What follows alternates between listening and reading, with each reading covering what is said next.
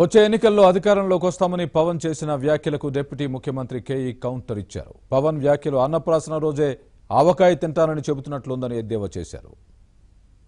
మనం గాని ప్రభుత్వం రెండు వేల పంతొమ్మిదిలో ఏర్పాటు చేస్తే రెండు వేల పంతొమ్మిదిలో మీ సహాయ సహకారాలు ఉండి మీరు చిత్తశుద్ధిగా ఉండి త్రికరణ శుద్ధిగా ప్రతి ఆడపడుచుని ప్రతి ఒక్క చెల్లెలికి చెప్పండి.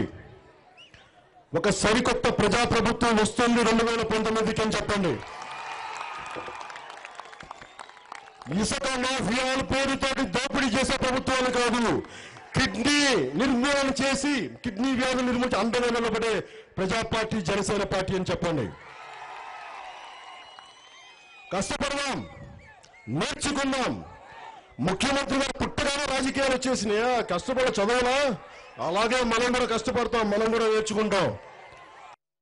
పవన్ అన్నప్రాసనం రోజునే ఆవకాయ కూర తింటానని చెప్తున్నాడు ఆయన.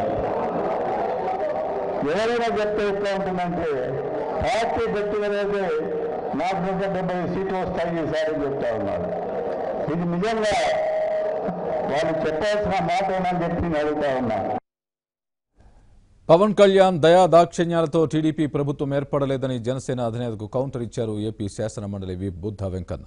పవన్కు అంత బలమే ఉంటే గతంలో సొంత పార్టీని ఎందుకు గెలిపించుకోలేకపోయారని ప్రశ్నించారు. మీ పార్టీ గెలవడానికి మీ ప్రభుత్వం నిలబడడానికి జనసేన పార్టీ సైనికులు ప్రతి ఒక్కళ్ళు శ్రమ శ్రమ మీకు అండగా నిలబడ్డారు మీ ఎమ్మెల్యేలు గెలవడానికి. అలాంటి మమ్మల్ని మమ్మల్ని మీరు ఈ రకంగా పనులు నాటితే మాకు చాలా బాధ కలిగింది. మీకు ఏ రోజున మీరు మాకు మర్యాద ఇవ్వలేదు? బయటికి కనిపించే మర్యాద మాకు అవసరం లేదు మీరు. వెనక నుంచి ఏం చేస్తున్నారో అనేది చాలా చాలా ముఖ్యం. అది మాకు తెలియదు అనుకున్నారా రాజకీయాలు మాకు తెలియని చిన్నపిల్లలు అనుకున్నారా మీరు? ఏమీ ఆశించకుండా సహాయం చేస్తే వాళ్ళకి వాళ్ళ కుక్క బిస్కెట్లు పడేసిన పదిహేను సీట్లు పడేసి ఇది వాళ్ళ అన్న మాటలు. బాధ కలగదా మనకి? కోపం రాదా మనకి? రాదా? వస్తుంది. కానీ అంటే మీరు పడేస్తే భిక్ష వేయడానికి ఏమనుకుంటున్నాం మేము జన సైనికులం ప్రజల కోసం పనిచేసే వాళ్ళం నేను ఇస్తాం మీరు తీసుకోండి మీరు ఇస్తే మేము తీసుకునే వాళ్ళం కాదు. ఏదో ఆయన ఏదో సపోర్ట్ చేస్తే చంద్రబాబు నాయుడు గారు అధికారంలోకి వచ్చినట్టు.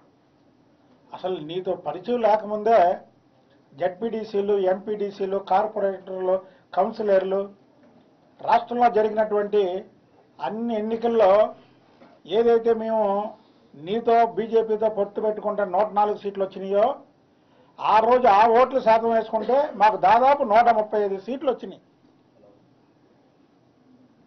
ఏదో నీ దక్షిణాల వల్ల మాకు ప్రభుత్వం వచ్చినట్టు.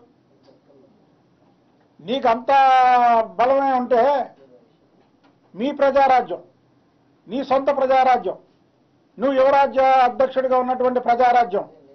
ఆ రోజు నువ్వు ఎందుకు గెలిపించగలేకపోయావు ఆ పార్టీని? నేను ఎంపీ ఎమ్మెల్యే అవడం అయితే బా చాలా ఈజీగా అయిపోతానన్నవాడు. సాక్షాత్తు మీ బావ అల్లు అరవింద్ మీ అన్నయ్య చిరంజీవి ఒక ఆయన పాలకొల్లో మరో మరొకరు అనకాపల్లిలో ఓడిపోయారు. అవి గుర్తులేదా మీకు?